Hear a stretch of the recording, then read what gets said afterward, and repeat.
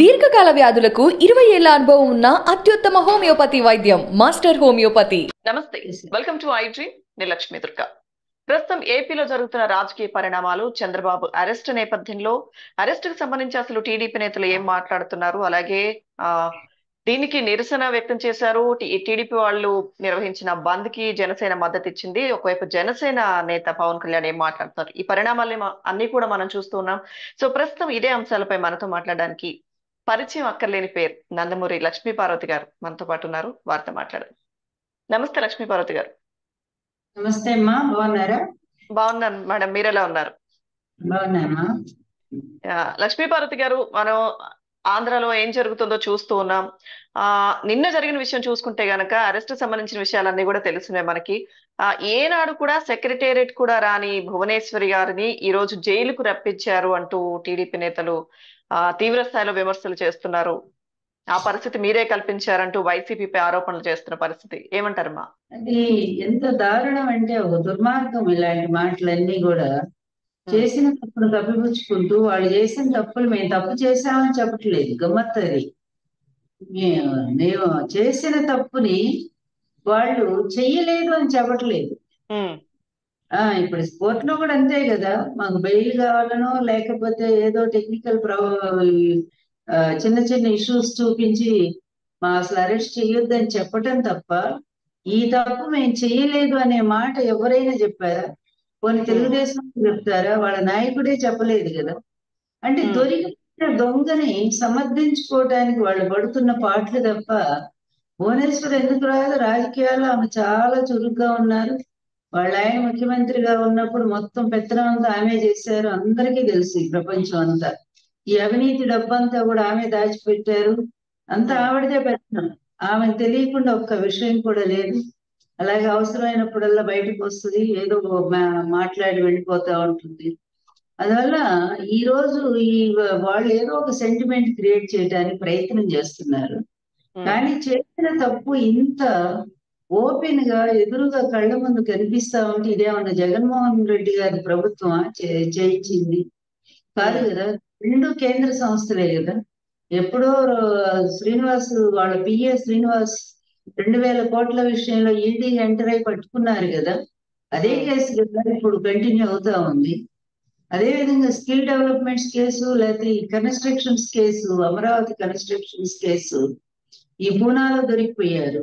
ఈ షెల్ కంపెనీల ద్వారా మరి అక్కడికి నూట పద్దెనిమిది కోట్లు అనుకుంటా ఒకటి మూడు వందల యాభై కోట్లు ఒకటి నూట పద్దెనిమిది కోట్లు. ఇలా ఈ రెండు కోట్లు ఎవరి ఐటీ ఎవరిది కేంద్ర ఐటీ సంస్థే కదా పట్టుకుంది. కేంద్ర ఐటీ సంస్థ చాలా క్లియర్గా వాట్సాప్ మెసేజ్లతో సహా వీళ్ళు వీళ్ళు చేసినటువంటిది చివరికి ఫైల్స్ కూడా ఇదే రమేష్ గారు ద్వారా సంతకాలు పెట్టించడం మా ముఖ్యమంత్రి గారి ఆ చెప్పిన మీదటి మేము సంతకాలు పెడుతున్నాం ఈ డబ్బు రిలీజ్ చేయడానికి అని చెప్పి. ఇంత ఓపెన్గా ఇప్పుడు ఇది విషయం మాటి మాటికి చెప్పాల్సిన అవసరం లేదు. ప్రపంచం అంతా రెండు ఎకరాల పెద్ద మనిషి ఈ రోజు లక్షల కోట్లు తీరాడంటే ఎక్కడి నుంచి వచ్చినట్టు? ఎంత అవినీతిలో తారస్థాయి ఇంత ఇట్లాంటి వ్యక్తి ఇంతవరకు ప్రపంచంలోనే ఇంత స్థాయిలో అవినీతి చేసిన వాళ్ళు లేరనేది అందరూ చెప్తున్నారు. ఈ రోజు టెహల్కా డాట్ కామ్ ఎప్పుడో చెప్పింది కొన్ని సంవత్సరాల క్రితమే. ఇతను ఎక్కడెక్కడ ఎంతెంత కొన్నది? బాలాయపల్లిలో ఎనిమిది వందల ఎకరాలు. తర్వాత తమిళనాడులో అతను భూములు తమిళనాడులో ఆస్తులు తర్వాత కర్ణాటకలో ఆ తర్వాత మహారాష్ట్రలో ఇంకా ఇది ఇతర దేశాల్లో అయితే చెప్పే పనే లేదు. సింగపూర్లో హోటళ్ళు ఇది మారిషస్ లోనేమో కాంప్లెక్స్ దుబాయ్ కావాలి. Dubai Mauritius. షాపింగ్ కాంప్లెక్స్ ఇలా ఒక్కటా ఇతని ఒక అనకొండ కూడా సరిపోదు. ఇతని అవినీతి అంత స్థాయికి వెళ్ళిపోయింది. ఇతని అధికారం ఎందుకంటే ఎన్టీఆర్ టైంలో ఇవన్నీ కూడా పనికిరావు ఆయనకి. ఎన్టీఆర్ చాలా నీతిమంతుడు. అవినీతికి. బాగా దూరంగా ఉంచాడు కదా బాగా ఉండమని చెప్పేవాడు ఒక మంత్రి పదివేలు తీసుకున్నందుకే ఆయన బర్తరఫ్ చేసిన నీతిపరుడు. ఉమ్, అట్లాంటి అల్లుడు రూపంలో ఇంట్లో ప్రవేశించి నువ్వేం చేసావు దోపిడీ చేసావు అదే విధంగా ఆయన పార్టీని కబ్జా చేశావు. ఎందుకంటే నీ పార్టీ అవసరమైంది నీ అవినీతి కోసం. ఇలా లక్షల కోట్లు సంపాదించాలని. ఆ డబ్బు తీసుకెళ్ళి ఓ- ఒక ఏది నీ హెరిటేజ్ పెట్టావు. కేవలం హెరిటేజ్ ఎప్పుడు నష్టాలే. ఆ హెరిటేజ్లో అవినీతి సొమ్మంతా పెట్టి లాభాలు చూపించుకోవటం. అదే ఫ్యామిలీ టూర్ నెపంతో విదేశాలకు వెళ్ళటం. ఎక్కడున్నారో ఏంటో కూడా ఎవరికీ తెలియదు. రహస్యంగా ఈ డబ్బంతా తీసుకెళ్ళి దాచిపెట్టుకోవటం. ఇలా ఎన్నాళ్ళు ఎన్ని కేసులమ్మా? ఇరవై కేసులు దాదాపు అతని మీద ఉన్నాయి. కానీ ఇలా వ్యవస్థలను మేనేజ్ చేసుకొని సంపాదించిన డబ్బుతో వ్యవస్థలన్నింటినీ మేనేజ్ ప్రతి వ్యవస్థలో అతని మనుషులు ఉంటారు. మీరు. చూసారు కదా న్యాయ వ్యవస్థలో ఏ విధంగా ఎట్లాంటి తీర్పులు వచ్చాయో కూడా ప్రజలే ఆగ్రహంతో ఊగిపోయారు. అలాంటి పనికిమాల తీర్పులు కూడా మనం చూసాము అలాగే రమణ లాంటి వాడిని ఎంకరేజ్ చేసుకొని అతన్ని ఆ ఇతనే అతను స్వయంగా శక్తి లేకపోయినా అతని స్థాయిని పెంచి తన పలుకుబడితో చివరికి సీజ్ దాకా చేసుకున్నాడు. అతని ద్వారా ఎంత లాభపడ్డాడో ఎన్ని కేసులు కొట్టేయబడి నేను కూడా ప్రత్యక్ష సాక్షి. నా కేసు లాస్ట్ సుప్రీంకోర్టు వరకు కూడా వెళ్ళింది. ఇతని మీద నేను వేసిన కేసు అవినీతి కేసు. అదివరకే అసలు కేసు విచారణ కూడా లేకుండా రమణ వెళ్ళే ముందు కొట్టేయించారు. అందువల్ల ఇన్ని రకాలుగా అన్ని రంగాల్లో అతని మనుషులు ఉంటారు. ఇప్పుడు మీరు చూస్తారు కదా పార్టీ ఓడిపోగానే ఏ నాయకుడైనా సరే తన వాడిని అవతల పార్టీలో పంపిస్తారా తన ఎంపీల్ని? అంటే ఎప్పుడు ఎవరితో అవసరం వస్తుందో తన కేసులు ఎవరు బయటికి తీస్తారో అప్పుడు. కాపాడుకోవడానికి అవతల వాళ్ళు ఉండాలనే ఉద్దేశంతో మొత్తం ఎంపీలందరినీ బీజేపీలో పంపించాడు మొన్న ఓడిపోగానే రెండు వేల. పంతొమ్మిది అట్లా అలాగే ఈడీలో ఉన్నారు ఇద్దరు మనుషులు ఐటీలో. ఉన్నారు ఆఖరి ఎస్బి సిబిఐలో ఉన్నారు ఇలా తన మనుషులు అన్ని చోట్ల నింపుకోవటం మళ్ళా వాళ్ళు ఇతన్ని కాపాడుతూ ఉండటం అలాగే ఇతర పక్షాలు కమ్యూనిస్టుల్లో ఇతని మనుషులు ఉన్నారు. ఇక ఇతను పవన్ కళ్యాణ్ గురించి చెప్పేది ఏముంది? అతను. ఎప్పుడో అమ్ముడుపోయాడని లోకం అంతా తెలుసు. ఇప్పుడు అమరావతిలో కూడా ఇతని భూములు బయటకు వచ్చినాయి. అందువల్ల ఏంటంటే ఈ దుర్మార్గానికి ఎక్కడో చోట కట్టబడాలి. వ్యవస్థ మనిషి నిర్మించుకున్నటువంటి వ్యవస్థ ఒక సక్రమంగా నడవాలి అంటే నాలుగు స్తంభాల్లాగా న్యాయ వ్యవస్థ శాసన వ్యవస్థ మీడియా వ్యవస్థ సరిగ్గా పనిచేయాలి ఉమ్. అలా పనిచేసినప్పుడు బ్యాలెన్స్ అందరికీ ఒక జస్టిస్ దొరుకుతుంది న్యాయం దొరుకుతుంది. అయితే అలా- లక్ష్మీ పార్వతి గారు ఆ జైల్లో చంద్రబాబుకి ఆ రక్షణ లేదు ప్రాణహాని ఉంది అదే మాకు భయంగా ఉంది అంటూ ఫ్యామిలీ మెంబర్స్ చెప్తున్నారు. నిన్న ఆయన సతీమణి కూడా కలిసి వచ్చిన తర్వాత చెప్పడం జరిగింది. ఎటువంటి ప్రత్యేక ఏర్పాట్లు అక్కడ లేవు. ఆయన భద్రత గురించి మాకు భయంగా ఉంది. అమ్మా ఇవన్నీ విసుగు పుడుతుంది ఇలాంటి పిచ్చి మాటలు. ఎందుకంటే జగన్ ఎప్పుడన్నా మాట అన్నాడమ్మా? జగన్మోహన్ రెడ్డిని నిర్దాక్షిణ్యంగా ఎవడో ఒక్క లెటర్ రాస్తే లెటర్ ఆధారంగా సిబిఐ అరెస్ట్ చేసిందే ఒక్క లెటర్ ఆధారంగా. ఏ- ఏ ఆధారాలతో పట్టుకున్నారు ఆ రోజు? అది కుట్రగా ఈ చంద్రబాబు లేడు ఆ రోజు? ఇతను కూడా ఇంప్లీడ్ అయ్యాడు కదా? ఇతను పార్టీ వాళ్ళని పంపించి? ఇప్పుడు కా అతనికి ఎంత ప్రత్యేకమైన సెల్ ఇచ్చారు? ఎంత మంది సెక్యూరిటీని పెట్టారు అక్కడ? ఎన్నో కెమెరాలు సిసి కెమెరాలు పనిచేస్తున్నాయి. చీమ చిక్కుమన్నా కూడా అక్కడ అంత భద్రత. ఇంటికి వస్తే భద్రత ఉండదు. నిజం చెప్పాలండి అలా ఇంటికి వచ్చి చాలా మంది దెబ్బతిన్న వాళ్ళు ఉన్నారు. అసలు అంటే అసలు ఇట్లాంటి కేసుల్లో ఎప్పుడు కూడా హౌస్ అరెస్ట్ అనేది ఉండదు. ఆ కేసులు అంత బలంగా ఉన్నాయి ఫోర్ జీరో నైన్ అలాంటి మనకు ఆ సెక్షన్స్ అంత తెలియవు కానీ బట్ ఇతను చేసినటువంటి అక్రమాలు చాలా దారుణమైనటువంటివి. దాదాపుగా ఒక ఇరవై కేసులు వరుసలో ఉన్నాయి క్యూలో ఉన్నాయి. ఎంత అవినీతి ఎంత అవినీతి అసలు దారుణంగా. ఆరు లక్షల కోట్లు ఒక మనిషి ఏమీ లేకుండా వచ్చి కేవలం ప్రజాధనంతో ప్రజాధనాన్ని లూటీ చేసి దాని అధికారం కోసం ఆ టైంలో ఎవరి పార్టీ బాగుందంటే ఆ పార్టీతో పొత్తు పెట్టుకోవటం వాళ్ళతో కలిసి గెలవటం గెలిచిన తర్వాత విచ్చలవిడిగా ప్రజల డబ్బును దోచేసేయటం. ఇదే కదా మొన్న జరిగింది కూడా ఇదే కదా. సిమెంట్స్తో ఒప్పందం అన్నారు స్కిల్ డెవలప్మెంట్. మూడు వేల ఐదు వందల కోట్లు వాళ్ళు పెడుతున్నారని చెప్పారు. దాన్ని వీళ్ళు మన వాళ్ళ ఆఫీసర్స్ అబ్జెక్షన్ చేశారు అయ్యగారు కృష్ణారావు గారు రమేష్ గారిని అబ్జెక్షన్ చేసినా కూడా ఇది సీఎం ఇంట్రెస్ట్ అని చెప్పి బలవంతంగా మూడు వందల యాభై కోట్లు ఎంతో రిలీజ్ చేయించారు కదా? తీరా చూస్తే సిమెంట్స్ కంపెనీ ఏమిచ్చింది? మాకు అసలు సంబంధమే లేదు ఇది. మాతో ఏ ఒప్పందం జరగలేదు మాకు ఒక్క రూపాయి కూడా అందలేదు అని అప్పుడు కదా ఏడు ఎంటర్ అయిపోయి అసలు ఏమైంది ఇది ఏమిటని చెప్పి కేసు విచారణ చేస్తే మొత్తం డబ్బంతా కూడా ఎక్కడికి వచ్చిందంటే చంద్రబాబు ఇక్కడ వీళ్ళ అకౌంట్స్కి వచ్చేసింది. చంద్రబాబు పిఎం పట్టుకున్నారు? వాడు మొత్తం నిజాలన్నీ చెప్పేసి. ఈ రోజు కేసు కాదు ఇది. ఎప్పుడో అప్పుడు అతను పిఏని అరెస్ట్ చేసినప్పుడే. ఇప్పుడు ఏమీ లేకపోతే ఇద్దరు దొంగలు ఎందుకు పారిపోయారు చెప్పండి. ఆ. పిఏ పారిపోయాడు శ్రీనివాస్ పారిపోయాడు ఇంకొకడు పారిపోయాడు. ఇద్దరు పారిపోయారు కదా ఈ కేసులో నిందితులైన వాళ్ళు. పంపించేశాడు ఇతను. దేశం దాటించి పంపించేశాడు. సాక్ష్యాలు దొరకకుండా ఉండటానికి. ఇలాంటి వాడు రేపు ఇంట్లో పెడితే ఇంకా ఉన్న సాక్ష్యాలు కూడా తారుమారు చేయడం?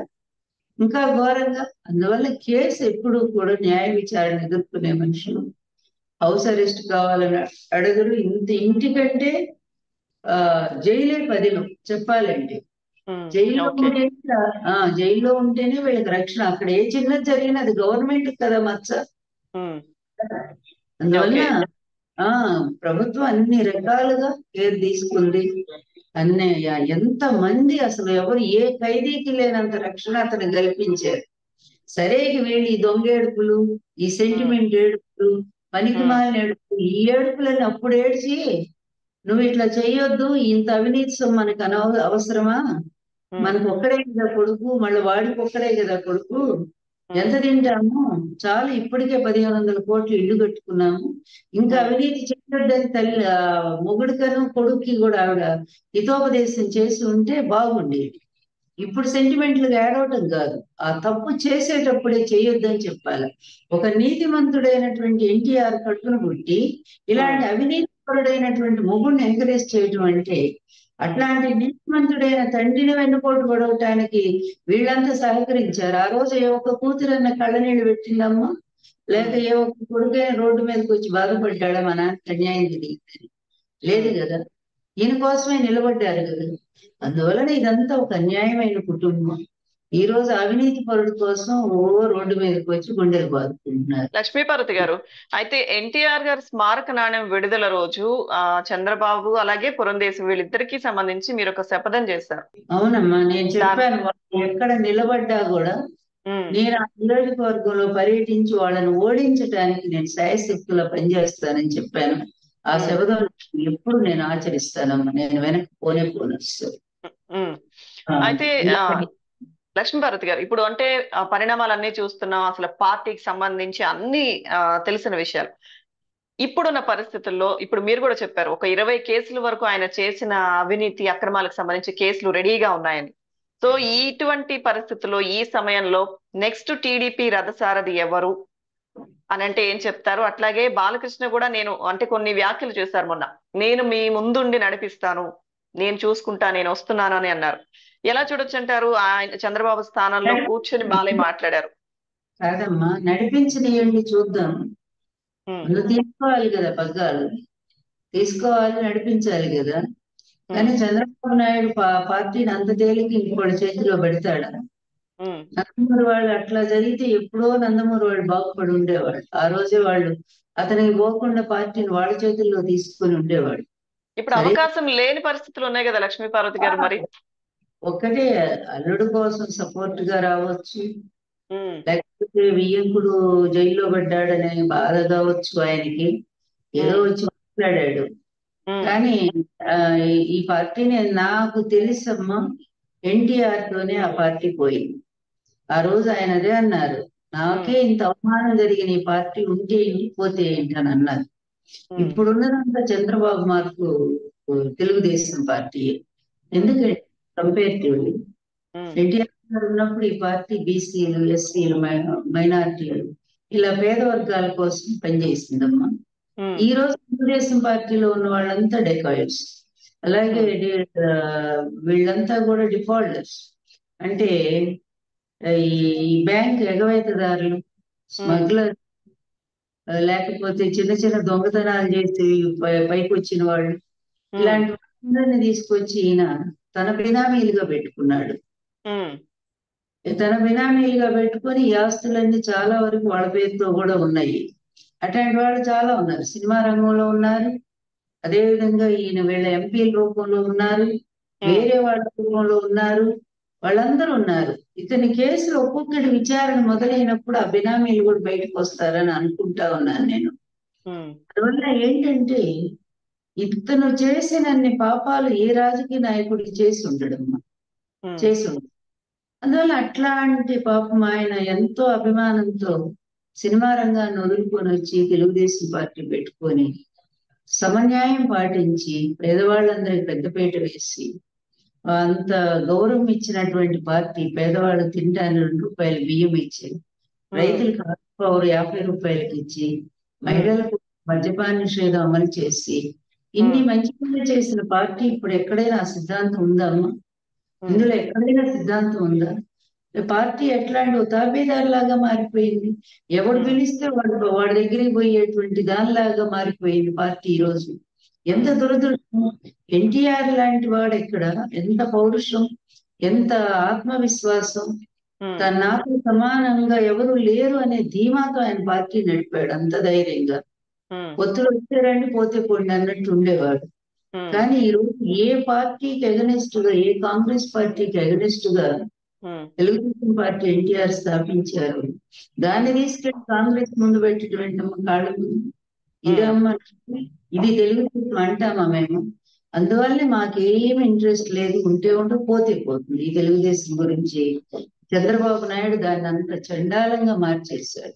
లక్ష్మీకరతి గారు అయితే అంటే బయట చాలా మంది ప్రజలు ఈ అరెస్ట్ తర్వాత నుంచి మాట్లాడుకుంటున్న మాట ఏంటంటే ఆ ఎన్టీఆర్ గారికి డెబ్బై మూడో ఏట ఆయన వెన్నుపోటు పొడిచాడు. ఇప్పుడు అదే వయసుకి అదే సమయంలో ఈయన అక్రమ ఆ అక్రమ ఆస్తులకి సంబంధించి అక్రమార్జన ఈ కేసుల్లో జైలుకి అదే ఏజ్లో వెళ్ళారు అన్న ఒక చర్చ అయితే ప్రజల్లో బాగా జరుగుతుంది. ఏం చెప్తారు మేడం మీరు? అది ఒక్కొక్కసారి ఇప్పుడు దేవుణ్ణి నమ్మినా నమ్మకపోయినా సెంటిమెంట్స్ ఎక్కువగానే ఉంటాయి. అది ప్రపంచంలో మనిషి జాతిలోనే ఉంది. అన్ని దేశాల్లో కూడా ఉన్నాయి సెంటిమెంట్స్ ఎక్కువగానే. ఆశ్చర్యకరం. కొన్ని మిరాకిల్స్ అనుకోవాలా? లేకపోతే కాలం అనేది ఆ విధంగా ఒక చోట ఈ విధంగా చేస్తుందా? కలిసి వచ్చేటట్టుగానే అనిపిస్తా ఉంటుంది. అట్లా ఒక ఇన్సిడెంట్ మా ముఖ్యమంత్రి గారు కూడా చెప్పారు అసెంబ్లీలో. దేవుడు రాసిన రాతేనని చెప్పి. ఇరవై మూడు మంది ఎమ్మెల్యేలు తీసుకుంటే అదే ఇరవై మూడు మంది మిగిలారు అతనికి గెలిచారు. ముగ్గురు ఎంపీలు తీసుకుంటే అదే ముగ్గురు ఎంపీలు గెలిచారు టీడీపీకి.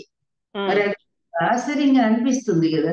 ఈ రోజు కూడా అంతే డెబ్బై మూడు ఏళ్ళు దాటి డెబ్బై నాలుగులో అడుగు పెట్టుకున్నారు ఎన్టీఆర్ గారు. ఆ వయసులో ఆయన్ని చాలా అవమానాలు చేసి చెప్పులేసి ఆయన మరణానికి కారకులయ్యారు వీళ్ళు. అట్లా మళ్ళీ ఈ వ్యక్తి ఇన్నేళ్ళు తప్పించుకున్నాడు. ఎందుకంటే పెద్ద గజ దొంగ ఒకడు ఉన్నాడు కదమ్మా ప్రపంచ గజ దొంగ వాడెవడు చార్లెస్ కదా? అతన్ని పట్టుకోవటానికి ఇరవై సంవత్సరాలు పెట్టిందట. మొత్తం అన్ని దేశాలు కలిసి అతని మీద నిఘా పెట్టి ఎంత కష్టం మీద. కానీ ఈ రోజు పట్టుకోవడానికి నలభై ఏళ్ళు పట్టింది. అంటే అతనికి పెద్ద గజదొంగనే కదా? అంత దొరకకుండా ఈ విధంగా మేనేజ్ చేసుకుంటూ వ్యవస్థలన్నిటినీ కూడా ఇన్నాళ్ళు కూడా వచ్చాడు. కానీ ఈ రోజు దొరికిపోయాడు. ఎక్కడో చోటు దొరక తప్పదు కదా. కాలం ఎంత గొప్ప చెప్పండి. అట్లాగే ఏ వయసులో ఆయన కష్టపెట్టాడు అదే వయసులో పోయి జైల్లో కూర్చున్నాడు. ఆయన న్యాయవంతుడు మంచివాడు ఎన్టీఆర్. ఇప్పుడు ఎన్టీఆర్ గారి ఆత్మ శాంతించింది అనుకుంటున్నారా లక్ష్మీపార్వతి గారు మీరు? అదే ఆత్మలు నమ్మే వాళ్ళు ఉంటే ఆత్మ శాంతించిందని అంటారు. నేనైతే మొన్న ఘాటు దగ్గర ఒకటే చెప్పాను. ఇంకా ఆత్మ అనేదానికంటే కూడా ఎవరు గొప్ప పని చేస్తారు? మనం రాముడు కృష్ణుడు వీళ్ళని చూస్తే వాళ్ళ పనుల చేత దేవుడు అయ్యారు. కదమ్మా? మానవులుగా పుట్టి దేవుళ్ళు అయ్యారు. అదేవిధంగా ఎన్టీఆర్ కూడా ఒక స్వచ్ఛమైన మనిషి దేవుడు లాంటి మనిషి. అందువల్ల ఈ ఆత్మ అనే పదంతో ఆయన మాట్లాడే కంటే కూడా ఆయన దేవుడు అయ్యాడు నా దృష్టిలో అని చెప్పాను నేను. ఇప్పుడు అదే నమ్ముతున్నాను నేను.